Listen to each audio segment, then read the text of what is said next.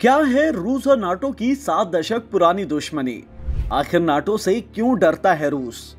रूस और यूक्रेन विवाद की एक मुख्य वजह है नाटो। रूस यूक्रेन को नाटो में शामिल होने से रोकने के लिए ही जंग तक पहुँच गया है। ऐसे में सवाल ये कि यूक्रेन को नाटो में शामिल होने से क्यों रोक रहा रूस? दरअसल अमेरिका ने सोवियत संघ की विस्तारवादी नीति को रोकने के लिए उन्नीस सौ उनचास में नाटो की शुरुआत की। जब नाटो बना तब इसके 12 सदस्य देश थे, जिनमें अमेरिका के अलावा Britain, France, Canada, Italy, Netherlands, Iceland, Belgium, Luxembourg, Norway, पुर्तगाल और डेनमार्क शामिल है। आज नाटो में 30 देश शामिल है। रूस को लगता है कि अगर यूक्रेन नाटो में शामिल हुआ तो नाटो देश के सैनिक और ठिकाने की उसकी सीमा के पास आकर खड़े हो जाएँगे। क्या है नाटो? नाटो एक सैन्य गठबंधन है, जिसका मकसद साझा सुरक्षा नीति पर काम करना है।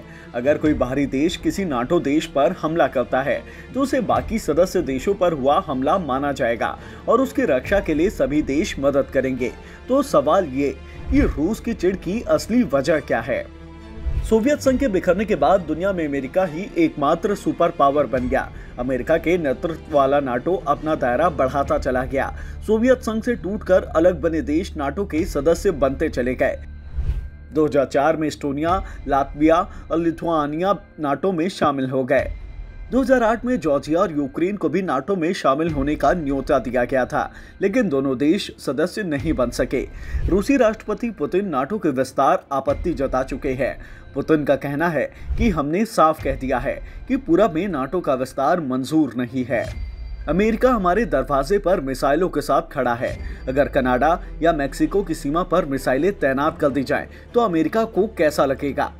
अगर यूक्रेन भी नाटो से जुड़ जाता है तो रूस पूरी तरह से घिर जाएगा, और उसे यह गवारा नहीं है। पुतिन का तर्क है कि अगर यूक्रेन नाटो में जाता है तो भविष्य में नाटो की मिसाइलें यूक्रेन की धरती पर मिनटों में आ जाएँगी, जो रूस के लिए बड़ी चुनौती है। तो यूक्रेन क्यों चाहता है नाटो में शामिल होना? रूस की तुलना में यूक्रेन की सेना काफ़ी छोटी है। ऐसे में अपनी आज़ादी को बरकरार रखने के लिए यूक्रेन को ऐसे सैन्य गठबंधन की ज़रूरत है, जो उसकी रक्षा कर सके। उसे नाटो से बेहतर कोई दूसरा संगठन नहीं हो सकता।